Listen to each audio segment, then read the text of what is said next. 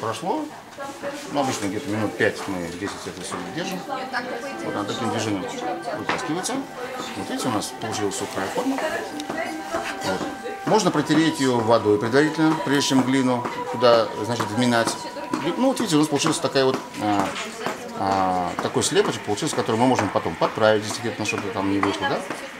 То есть все зависит от того, какой у нас исходный материал по, именно как называют ее мастер-модель.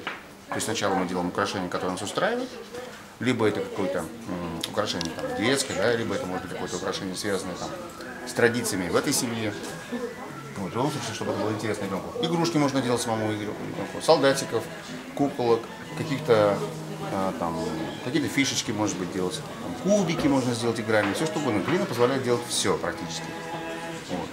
Когда она, значит, э, сохнет, она уменьшается в размерах. Собственно, почему так это и делается? Мы используем то, что глина усыхает, отдает влагу гипсу. Вот, что еще интересно? Вообще материал очень интересный. Это вот одно, од- одного вида глины, да? Она позволяет читать все рисунки. Вот это вторая глина. Второй вид глины. Он уже более рыхлый, причем а, сортов глины очень много, и у нас в республике глина очень неплохая, кстати. Она есть. э, И вот, э, ну, то есть, все зависит от того, там, где вы можете эту посмотреть глину, чтобы она главное, была, видите, она переходит немножко, да, в цвет, но это не, не нормально.